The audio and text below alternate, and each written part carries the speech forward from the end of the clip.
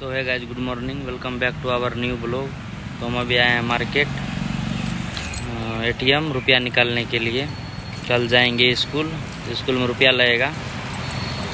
तो अभी आए थे मार्केट ये देखिए। मार्केट आए थे अभी। तो गाइज़ मार्केट में और कुछ काम भी था, इसलिए मार्केट आए थे। रुपया भी निकालना था। तो इसीलिए आए थे मार्केट और काम भी है कुछ। तो गाइज़ मिलते हैं नेक्स्ट ब्लॉग में।